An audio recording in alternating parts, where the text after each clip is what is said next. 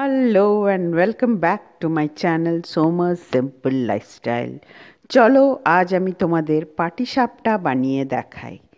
Late start পাটিসাপটার main ইনগ্রিডিয়েন্টসগুলো আগে আমি দেখিয়ে নিই। এই কড়াতে আমি করব বলে এই কড়াতেই আমি ইচ্ছে করে রেখেছি।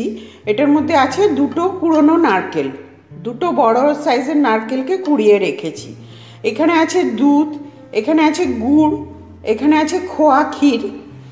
এইটাতে আমি গোবিন্দভোগ চাল পাঁচশো গ্রাম সারা রাত ভিজিয়ে রেখে জল ঝরতে দিয়েছি। আর এইখানে নিয়েছি বিউলির ডাল। এখানে একশো গ্রাম আমি ভিজিয়েছি, কিন্তু আমার এতটা লাগবে না।